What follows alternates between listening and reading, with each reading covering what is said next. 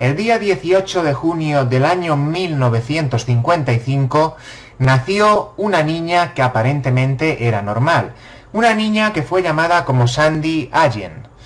A decir verdad, eh, todo era normal hasta que empezó a crecer de manera desmesurada.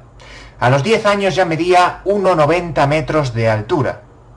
Si no lo hubieran operado a la edad de 22 años de la glándula pituitaria, que era la que provocaba su crecimiento anormal, esta mujer hubiera seguido creciendo y habría alcanzado mucha más altura.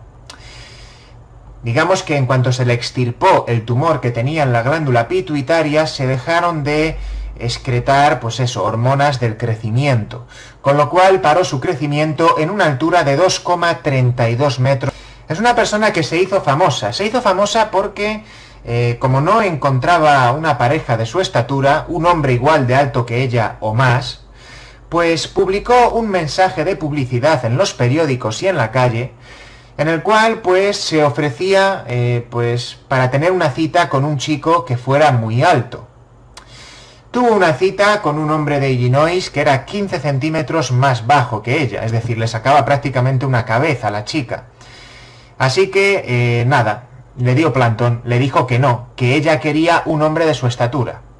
Lo cierto es que esta mujer murió soltera, jamás tuvo relaciones sexuales y desconozco si siquiera, si siquiera llegó a besar a alguien. Con más de 50 años de edad murió sin haber experimentado lo que es el amor.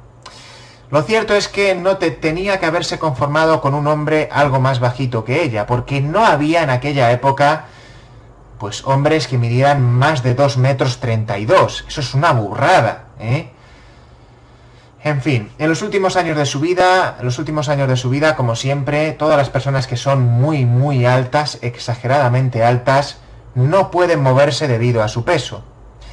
Pesaba cerca de 200 kilos y ya a su edad ya no tenía fuerza suficiente para mover su estructura. Murió en el año 2008, hace 5 años desde que hago este vídeo, o sea, ahora estamos en el 2013, pues 5 años.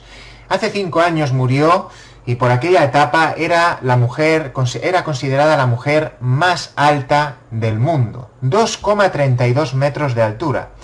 Una altura que mantuvo durante muchos años. A decir verdad, es una gigante que consiguió vivir más de lo esperado y básicamente fue porque la operaron del tumor que tenía a los 22 años. Tuvieron el dinero necesario para operarla.